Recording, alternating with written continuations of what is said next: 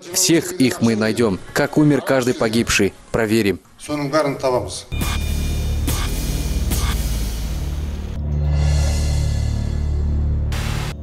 Президент Назарбаев не держит слова. Его громкие обещания – пустые слова. Об этом сегодня заявили представители организации Amnesty International. В своем докладе «Возвращение к пыткам», название которого говорит само за себя, они представили полную картину силового беспредела в Казахстане. Здесь и издевательства над заключенными, и выбивание показаний. Ключевой момент – призыв поставить, наконец, точку в кровавом деле Жанаузена.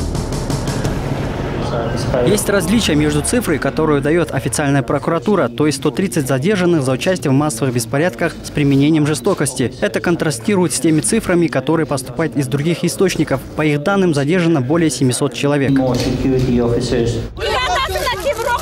Власти Казахстана вряд ли согласятся с международной организацией. По отчетам, события в Жанаузене тщательно расследовали, а тех, кто стрелял в демонстрантов, наказали. За решеткой оказались пять офицеров полиции. Те же, кто расстреливал безоружных людей, от наказания ушли. Следует из отчета Amnesty International.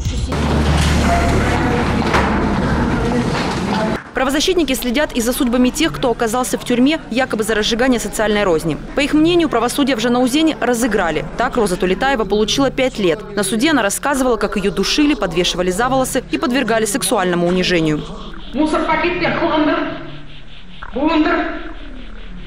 ә, мешокты алып кезде адам көзі бақырайып демала алмайды екен қатты демаласы екен Те, кто пытал в декабре 2011-го Базарбая Кинжибаева, также на свободе. Он скончался через два дня после освобождения из ИВС. Лишь один из полицейских был осужден. Генералы продолжают отрицать факты пыток. Специально никто такой приказ в такой обстановке не отдавал. Каждый полицейский принимал решение. Мы разочарованы тем фактом, что власти, в частности представители прокуратуры и МВД, ссылались на факты применения пыток как отдельные изолированные случаи, нежели как явление, которое носит широкомасштабный характер.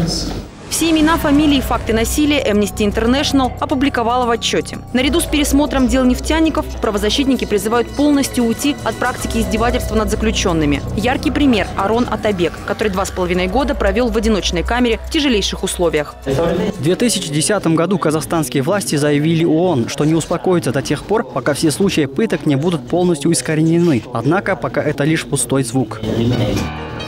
В очередной раз отчет Amnesty International – это попытка достучаться до высшего политического руководства. Все заверения властей Казахстана правозащитная организация называет не иначе, как попыткой успокоить собственный народ и иностранных наблюдателей. Пытать и убивать в Казахстане не перестали.